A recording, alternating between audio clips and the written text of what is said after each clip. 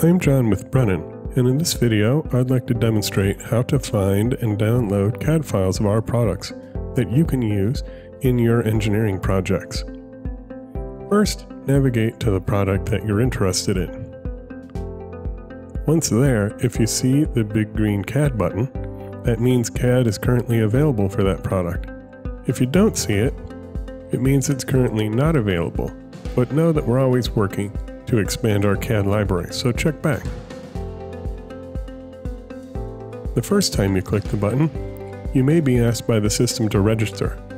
After that, it should remember you and take you right to this preview window, where you can interact with a live 3D preview. When you're sure this is the correct product, you can generate your CAD. The system will use the dimensions you choose here to generate your CAD, so please choose them carefully. When you have the dimensions you want, simply accept the license agreement and click CAD Download. This window allows you to pick the source format of your CAD file.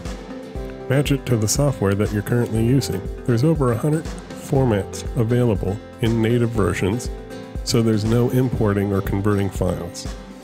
Select your format and if you like, attach a 3D PDF datasheet and click Start Download. The system could take several moments to generate your download. When the download link appears, simply click it and enjoy your files. Thanks for watching.